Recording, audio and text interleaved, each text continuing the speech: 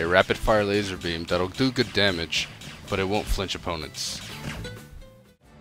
A grenade thrown in an arc that explodes on contact.